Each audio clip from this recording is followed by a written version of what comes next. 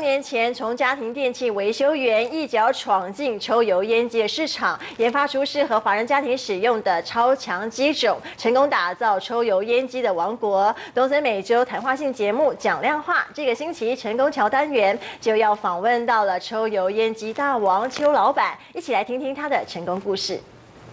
第代抽油烟机采用九十六。这支广告相信你一定不陌生。广告的品牌几乎跟抽油烟机画上了等号。广告家喻户晓，产品自然热卖。男主角上成功桥，回忆当年从家庭电器的维修人员闯进美国抽油烟机的市场，绝非偶然，而是靠着比别人细心跟用心的结果。美国炉头跟亚洲炉头不一样，大家都知道啊。那两眼炉头用的抽油烟机放在四眼炉头上，绝对是不行，因为我自己也在用。啊，你前面炒菜，嗯不效果不是很好，把它推推，把它推到后面去就还好，所以这个不对的。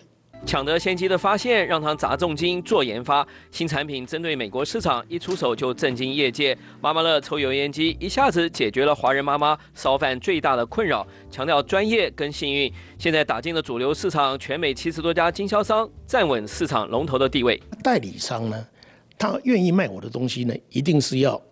他可以好卖，故障很少，他才愿意卖我的东西。那故障很少，他好卖，意思就是说客人很满意嘛。客人满意，他愿意帮我卖，就轻松了。